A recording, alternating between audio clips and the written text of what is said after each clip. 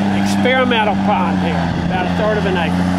Uh, and we want to make it 18 inches deep at its deeper point down along the bottom.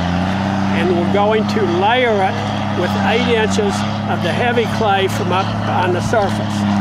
So uh, we're going to have to dig it 26 inches deep and then layer, put the eight inch layer on it and then it'll be 18 inches uh, deep uh, when it's filled, it'll taper up to the sides just uh, along the same contours as the present pond.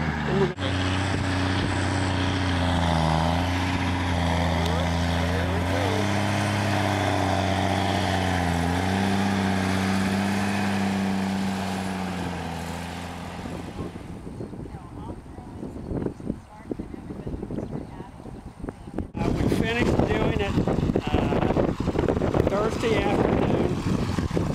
We turned the water on yesterday morning, Friday, uh, at about 11:30. We so it's run uh, uh, about eight hours. Uh, it's approaching, getting filled up. It's holding water like the coffee cup. Excavate the eight inches of topsoil out of the rest of the property compact it back up with this clay and complete the entire property. And then we'd knock out both ends of this levee uh, so this would just flow up to the, uh, uh, the original ground level here. Look at them, they're in the water. Carol. See them hopping? No, Carl, don't do it. Don't try to go that way. I don't think he's trying to convince you.